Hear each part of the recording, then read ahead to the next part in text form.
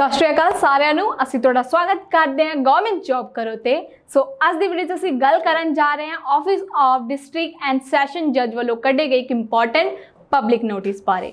ਸੋ ਇਸ ਨੋਟਿਸ ਬਾਰੇ ਪੂਰੀ ਜਾਣਕਾਰੀ ਹਾਸਲ ਕਰਨ ਲਈ ਇਸ ਵੀਡੀਓ ਨੂੰ ਅੰਤ ਤੱਕ ਜ਼ਰੂਰ ਦੇਖੋ।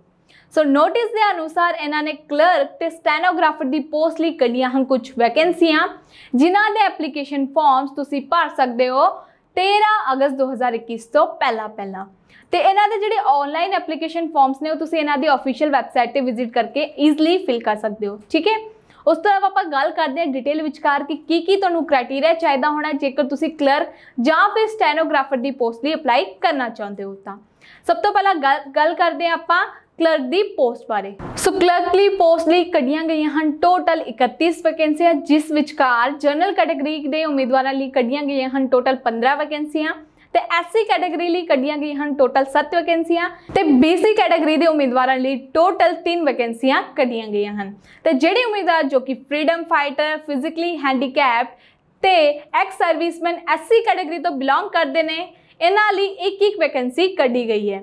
ਤੇ ਐਕਸ ਸਰਵਿਸਮੈਨ ਜਨਰਲ ਕੈਟਾਗਰੀ ਤੋਂ ਬਿਲੋਂਗ ਕਰਨ ਵਾਲੇ ਉਮੀਦਵਾਰਾਂ ਲਈ ਟੋਟਲ 3 ਵੈਕੈਂਸੀਆਂ ਕੱਢੀਆਂ ਗਈਆਂ ਹਨ। ਤੇ ਆਪਾਂ ਗੱਲ ਕਰਦੇ ਹਾਂ ਇਹਨਾਂ ਦੇ ਪੇ ਸਕੇਲ ਬਾਰੇ। ਜੇਕਰ ਤੁਸੀਂ ਕਲਰਕ ਦੀ ਪੋਸਟ ਲਈ ਅਪਲਾਈ ਕਰਦੇ ਹੋ, ਤਾਂ ਤੁਹਾਨੂੰ ਕਿੰਨਾ ਕੁ ਪੇ ਸਕੇਲ ਮਿਲ ਸਕਦਾ ਹੈ? ਤੇ ਤੁਹਾਨੂੰ ਇਸ ਪੋਸਟ ਲਈ ਮਿਲ ਸਕਦਾ ਹੈ ਟੋਟਲ 34800 ਰੁਪਏ ਤੋਂ ਲੈ ਕੇ ਇਸ ਤੋਂ ਵੱਧ ਤੁਹਾਨੂੰ ਪੇ ਸਕੇਲ ਮਿਲੇਗਾ। ਤੇ ਗ੍ਰੇਡ ਪੇ ਤੁਹਾਡਾ ਹੈਗਾ 3200 ਰੁਪਏ ਤੱਕ ਦਾ। ਤੇ ਆਪਾਂ ਗੱਲ ਕਰਦੇ ਹਾਂ ਦੀ ਐਲੀਜੀਬਿਲਟੀ ਬਾਰੇ। ਸਭ ਤੋਂ ਪਹਿਲਾਂ ਉਮਰ ਸੀਮਾ ਦੀ ਆਪਾਂ ਗੱਲ ਕਰਦੇ ਹਾਂ। ਜੇਕਰ ਤੁਹਾਡੀ ਜਿਹੜੀ ਉਮਰ ਸੀਮਾ ਹੈ ਉਹ 18 ਤੋਂ ਲੈ ਕੇ 37 ਸਾਲ ਦੇ ਵਿਚਕਾਰ ਹੈ, ਤਾਂ ਹੀ ਤੁਸੀਂ ਇਸ ਪੋਸਟ ਲਈ ਅਪਲਾਈ ਕਰ ਸਕਦੇ ਹੋ। ਉਸ ਤੋਂ ਇਲਾਵਾ ਆਪਾਂ ਗੱਲ ਕਰਦੇ ਹਾਂ ਇਹਨਾਂ ਦੇ ਐਜੂਕੇਸ਼ਨ ਕੁਆਲੀਫਿਕੇਸ਼ਨ ਰਿਕੁਆਇਰਮੈਂਟ ਬਾਰੇ। ਜੇਕਰ ਤੁਹਾਡੇ ਕੋਲ ਹੈਗੀ ਹੈ ਬੀਏ ਬੀ ਸਾਇੰਸ ਜਾਂ ਫਿਰ ਇਸ ਤੋਂ ਇਲਾਵਾ ਕੋਈ ਵੀ ਇਕੁਅਲ ਡਿਗਰੀ ਤਾਂ ਹੀ ਤੁਸੀਂ ਇਸ ਪੋਸਟ ਲਈ ਅਪਲਾਈ ਕਰ ਸਕਦੇ ਹੋ। ਤੇ ਨਾਲ ਦੇ ਨਾਲ ਤੁਹਾਡੇ ਕੋਲ ਪ੍ਰੋਪਰ ਨੌਲੇਜ ਹੋਣੀ ਚਾਹੀਦੀ ਹੈ ਪੰਜਾਬੀ ਦੀ, ਤੇ 10ਵੀਂ ਵਿੱਚ ਤੁਹਾਡੇ ਕੋਲ ਪੰਜਾਬੀ ਸਬਜੈਕਟ ਹੋਣਾ ਚਾਹੀਦਾ ਜੇਕਰ ਤੁਸੀਂ 10ਵੀਂ ਵਿੱਚ ਘਰ ਪੰਜਾਬੀ ਸਬਜੈਕਟ ਤੋਂ ਪਾਸ ਹੋ ਤਾਂ ਹੀ ਤੁਸੀਂ ਇਸ ਪੋਸਟ ਲਈ ਅਪਲਾਈ ਕਰ ਸਕਦੇ ਹੋ। ਇਸ ਤੋਂ ਇਲਾਵਾ ਤੁਹਾਡੇ ਕੋਲ ਹੋਣੀ ਚਾਹੀਦੀ ਹੈ, ਤੁਸੀਂ ਜਿਵੇਂ ਕਿ ਦੇਖ ਸਕਦੇ ਹੋ ਕਿ ਤੁਹਾਡੇ ਕੋਲ ਕੰਪਿਊਟਰ ਦੀ ਨੌਲੇਜ ਵੀ ਪ੍ਰੋਪਰ ਢੰਗ ਨਾਲ ਹੋਣੀ ਚਾਹੀਦੀ ਹੈ। ਤਾਂ ਹੀ ਤੁਸੀਂ ਇਸ ਪੋਸਟ ਲਈ ਕਾਫੀ ਆਸਾਨੀ ਨਾਲ ਅਪਲਾਈ ਕਰ ਕਰ ਸਕਦੇ ਹੋ। ਉਸ ਤੋਂ ਇਲਾਵਾ ਆਪਾਂ ਗੱਲ ਕਰਦੇ ਹਾਂ ਸਟੈਨੋਗ੍ਰਾਫਰ ਦੀ ਪੋਸਟ ਲਈ। ਇਸ ਲਈ ਟੋਟਲ 7 ਵੈਕੈਂਸੀਆਂ ਕੱਢੀਆਂ ਗਈਆਂ ਹਨ, ਜਿਸ ਵਿਚਕਾਰ ਐਸਸੀ ਕੈਟਾਗਰੀ ਲਈ 4 ਵੈਕੈਂਸੀਆਂ ਐਕਸ ਸਰਵਿਸਮੈਨ ਜਨਰਲ ਕੈਟਾਗਰੀ ਤੋਂ ਬਿਲੋਂਗ ਕਰਨ ਵਾਲੇ ਉਮੀਦਵਾਰਾਂ ਲਈ 2 ਵੈਕੈਂਸੀਆਂ ਤੇ ਐਕਸ ਸਰਵਿਸਮੈਨ ਐਸੀ ਕੈਟਾਗਰੀ ਤੋਂ ਬਿਲੋਂਗ ਕਰਨ ਵਾਲੇ ਉਮੀਦਵਾਰਾਂ ਲਈ ਇੱਕ ਵੈਕੈਂਸੀ ਕੱਢੀ ਗਈ ਹੈ। ਸੋ ਤੁਸੀਂ ਦੇਖ ਸਕਦੇ ਹੋ, ਇਸ ਢੰਗ ਨਾਲ ਪੂਰੀ ਜਿਹੜੀ ਵੈਕੈਂਸੀਆਂ ਹੈ, ਉਹ ਡਿਸਟ੍ਰੀਬਿਊਟ ਕੀਤੀਆਂ ਗਈਆਂ ਹਨ। ਤੇ ਇਸ ਲਈ ਤੁਹਾਨੂੰ ਪੇ ਸਕੇਲ ਮਿਲ ਸਕਦਾ ਹੈ 34800 ਰੁਪਏ ਤੱਕ ਦਾ ਤੇ ਇਸ ਲਈ ਤੁਹਾਡੇ ਜਿਹੜੇ ਗ੍ਰੇਡ ਪੇ ਹੈ ਉਹ 3600 ਰੁਪਏ ਤੱਕ ਦਾ ਹੈ। ਠੀਕ ਹੈ? ਮੀਨਸ ਕਿ 34800 ਰੁਪਏ ਤੋਂ ਤੋਂ ਵੱਧ ਤੁਹਾਨੂੰ ਜਿਹੜੀ ਪੇ ਸਕੇਲ ਹੈ, ਉਹ ਮਿਲ ਸਕਦੀ ਹੈ। ਦੈਨ ਇਸ ਤੋਂ ਇਲਾਵਾ ਗੱਲ ਕਰਦੇ ਇਹਨਾਂ ਦੇ ਉਮਰ ਸੀਮਾ ਬਾਰੇ। ਜੇਕਰ ਤੁਹਾਡੀ ਜਿਹੜੀ ਉਮਰ ਸੀਮਾ ਹੈ ਉਹ 18 ਤੋਂ ਲੈ ਕੇ 37 ਸਾਲ ਦੇ ਵਿਚਕਾਰ ਹੈ, ਤਾਂ ਹੀ ਤੁਸੀਂ ਇਸ ਪੋਸਟ ਲਈ ਅਪਲਾਈ ਕਰ ਸਕਦੇ ਹੋ। ਤੇ ਇਸ ਤੋਂ ਇਲਾਵਾ ਤੁਹਾਡੇ ਕੋਲ ਹੋਣੀ ਚਾਹੀਦੀ ਹੈ ਬੀਏ ਬੀ ਸਾਇੰਸ ਦੀ ਡਿਗਰੀ ਜਾਂ ਫਿਰ ਇਸ ਤੋਂ ਇਲਾਵਾ ਕੋਈ ਵੀ ਇਕੁਅਲ ਡਿਗਰੀ ਤੁਹਾਡੇ ਕੋਲ ਹੈਗੀ ਹੈ, ਤਾਂ ਵੀ ਤੁਸੀਂ ਇਸ ਪੋਸਟ ਲਈ ਅਪਲਾਈ ਕਰ ਸਕਦੇ ਹੋ।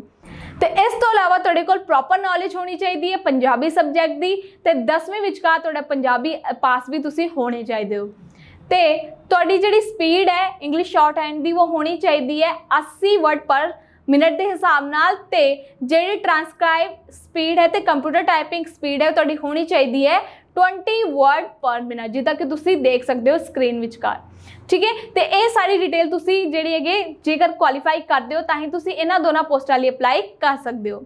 ਉਸ ਤੋਂ ਇਲਾਵਾ ਆਪਾਂ ਗੱਲ ਕਰਦੇ ਹਾਂ ਕਿ ਇਹਨਾਂ ਦੇ ਜਿਹੜੇ ਪੋਸਟ ਦੇ ਰਿਗਾਰਡਿੰਗ ਵੈਕੈਂਸੀਆਂ ਕੱਢੀਆਂ ਗਈਆਂ ਹਨ, ਉਹ ਕਿਵੇਂ ਰਹਿਣਗੀਆਂ। ਤੇ ਇਸ ਦੇ ਲਈ ਜਿੰਨੇ ਵੀ ਵੈਕੈਂਸੀਆਂ ਕੱਢੀਆਂ ਗਈਆਂ ਹਨ, ਉਹ ਵੱਧ ਜਾਂ ਘੱਟ ਹੋ ਸਕਦੀਆਂ ਨੇ ਐਸ ਪਰ ਦਾ ਗਾਈਡਲਾਈਨਸ ਜਾਂ ਫਿਰ ਐਸ ਪਰ ਦਾ ਸਿਚੁਏਸ਼ਨ ਜਿੱਦਾਂ ਵੀ ਸਿਚੁਏਸ਼ਨ ਹੁੰਦੀ ਹੈ, ਉਸ ਹਿਸਾਬ ਨਾਲ। ਤੇ ਆਪਾਂ ਗੱਲ ਕਰਦੇ ਹਾਂ ਸਿਲੈਕਸ਼ਨ ਪ੍ਰੋਸੈਸ ਬਾਰੇ। ਇਸ ਬਾਰੇ ਕੋਈ ਵੀ ਆਫੀਸ਼ੀਅਲ ਨੋਟਿਸ ਜਾਂ ਫਿਰ ਕੋਈ ਵੀ ਆਫੀਸ਼ੀਅਲ ਸਟੈਪ ਨਹੀਂ ਦੱਸਿਆ ਗਿਆ ਹੈ। ਹਜੇ ਤੱਕ ਬਸ ਇੰਨਾ ਹੀ ਦੱਸਿਆ ਗਿਆ ਹੈ ਕਿ ਜੇਕਰ ਵੱਧ ਤੋਂ ਵੱਧ ਐਪਲੀਕੇਸ਼ਨ ਫਾਰਮਸ ਆਉਂਦੇ ਨਾ ਤਾਂ ਇਹਨਾਂ ਦੇ ਜਿਹੜੇ ਐਗਜ਼ਾਮੀਨੇਸ਼ਨਸ ਨੇ ਉਹ ਵੀ ਕੰਡਕਟ ਕੀਤੇ ਜਾ ਸਕਦੇ ਨੇ। ਬਟ ਜੇਕਰ ਇਦਾਂ ਇਦਾਂ ਦਾ ਕੁਝ ਹੁੰਦਾ ਹੈ ਤਾਂ ਇਹਨਾਂ ਦੀ ਜਿਹੜੀ ਆਫੀਸ਼ੀਅਲ ਵੈਬਸਾਈਟ ਹੈ, ਉੱਥੇ ਤੁਹਾਨੂੰ ਨੋਟੀਫਿਕੇਸ਼ਨ ਮਿਲ ਜਾਏਗਾ ਤੇ ਇਸ ਦੇ ਰਿਗਾਰਡਿੰਗ ਕੋਈ ਵੀ ਅਪਡੇਟ ਜਾਂ ਫਿਰ ਕੋਈ ਵੀ ਹੋਰ ਐਗਜ਼ਾਮੀਨੇਸ਼ਨ ਦੇ ਰਿਗਾਰਡਿੰਗ ਨੋਟਿਸ ਆਉਂਦਾ ਹੈ, ਤਾਂ ਉਸ ਰਿਗਾਰਡਿੰਗ ਵੀ ਆਪਾਂ ਤੁਹਾਡੇ ਸਾਹਮਣੇ ਵੀਡੀਓ ਲੈ ਕੇ ਆਵਾਂਗੇ ਤਾਂ ਇਸ ਲਈ ਬਣੇ ਰਹੋ ਸਾਡੇ ਚੈਨਲ ਦੇ ਨਾਲ ਸੋ ਇਹ ਸੀਗੀ ਅੱਜ ਦੀ latest update regarding government job ਜੇਕਰ ਤੁਹਾਨੂੰ ਇਦਾਂ ਦੀ ਅਪਡੇਟ ਚਾਹੀਦੀ ਹੈ ਨੇ ਤੁਹਾਡੇ ਫੋਨ 'ਚ ਤਾਂ ਸਾਡੇ ਟੈਲੀਗ੍ਰਾਮ ਗਰੁੱਪ ਨੂੰ ਜੁਆਇਨ ਕਰਨਾ ਨਾ ਭੁੱਲਿਓ ਤੇ ਨਾਲ ਦੇ ਨਾਲ ਵਿਜ਼ਿਟ ਕਰੋ ਸਾਡੀ ਅਫੀਸ਼ੀਅਲ ਵੈਬਸਾਈਟ ਜਿਹਦਾ ਲਿੰਕ ਤੁਹਾਨੂੰ ਥੱਲੇ ਦਿੱਤੇ ਗਏ ਡਿਸਕ੍ਰਿਪਸ਼ਨ ਬਾਕਸ ਵਿਚਕਾਰ ਮਿਲ ਜਾਏਗਾ ਸੋ ਜੇਕਰ ਤੁਹਾਨੂੰ ਇਸ ਨੋਟਿਸ ਬਾਰੇ ਕਿਸੇ ਵੀ ਤਰੀਕੇ ਦਾ ਕੁਐਸਚਨ ਪੁੱਛਣਾ ਹੈ ਜਾਂ ਫਿਰ ਤੁਹਾਨੂੰ ਕੋਈ ਵੀ ਕੁਐਰੀ ਹੁੰਦੀ ਹੈ ਤਾਂ ਤੁਸੀਂ ਸਾਨੂੰ ਡਾਇਰੈਕਟ ਕੰਟੈਕਟ ਕਰ ਸਕਦੇ ਹੋ ਸਾਡੇ ਸਕਰੀਨ ਤੇ ਦਿੱਤੇ ਹੋਏ ਨੰਬਰ ਤੇ। ਤੇ ਇਸ ਵੀਡੀਓ ਨੂੰ ਲਾਈਕ ਸ਼ੇਅਰ ਤੇ ਚੈਨਲ ਨੂੰ ਸਬਸਕ੍ਰਾਈਬ ਕਰਨਾ ਵੀ ਨਾ ਭੁੱਲਿਓ। ਧੰਨਵਾਦ।